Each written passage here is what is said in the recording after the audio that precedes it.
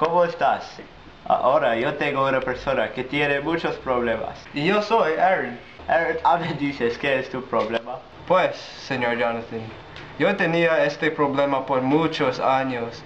Yo soy muy antipático porque yo tengo cuestiones de ira. Sí, Aaron, claro te ayudo. Yo tengo una clase para que se llama Cómo ser amable y yo voy a enseñarte a ser amable. También mis compañeros Moaz y Rebecca van a ayudarte. ¡Empezamos las clases!